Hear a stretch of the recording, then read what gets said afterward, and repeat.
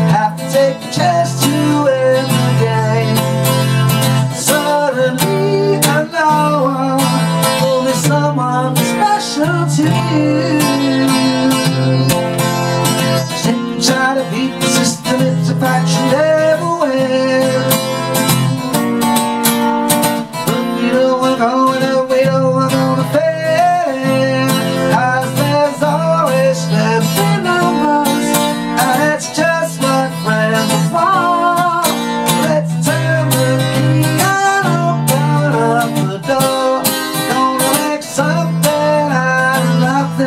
Gonna take a spark into a flame.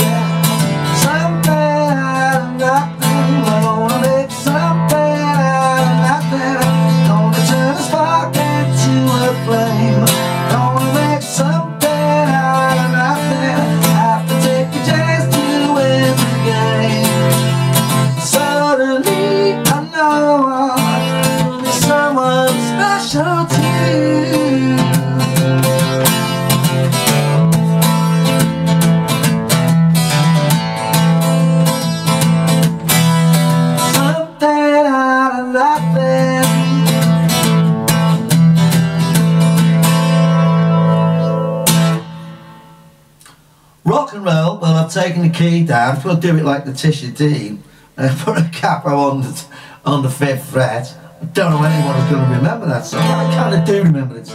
It's quite strange actually. Starts off with it starts off with a funny intro which I couldn't like kind of figure out what's going on really. It's A minor and E minor really, but uh, you know it's not really part of the song. I didn't view it as such. The main song is F suspended. Close your watch the music E augmented and F major seven. F sharp augmented.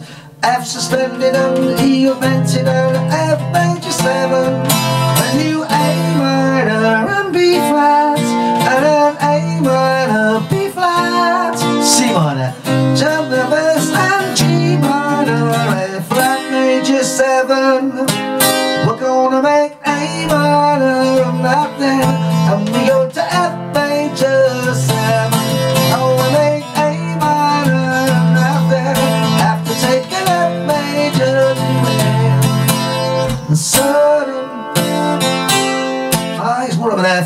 F6 kind of with an open E.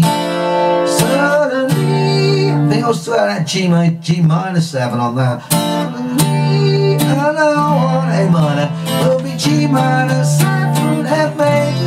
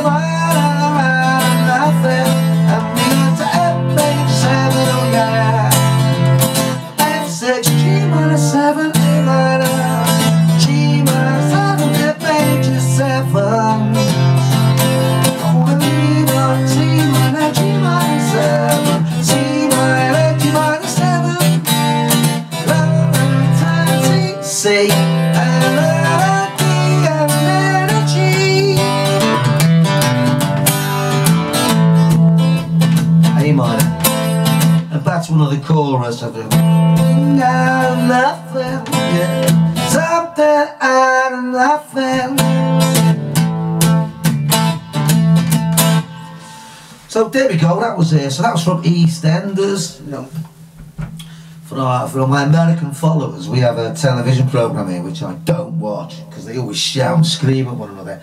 But it's called EastEnders, and in 1986, one of the main characters, or uh, several of the main characters, formed a band and did this something they were called the Banned, B A N N E D.